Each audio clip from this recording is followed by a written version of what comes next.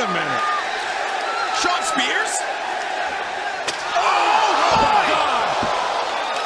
Spears with a chair shot right to the side of the head of Cody, who couldn't even get his hand up. It caught it out of the corner of his eye. Couldn't get his